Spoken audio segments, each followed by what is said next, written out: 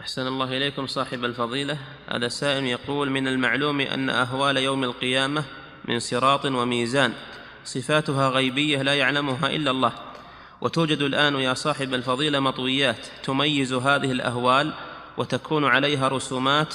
هذه باطلة هذه باطلة وصدر فيها من من اللجنة الدائمة التحذير منها لأنه باطلة تصوير لأمور الغيب التي لا يعلمها إلا الله فهي يعني عبث عبث باطل. وهم يظنون أنه فيه تخويف وفيه ترغيب. ما يجوز هذا هذا لا يجوز. هذا من العبث. نعم.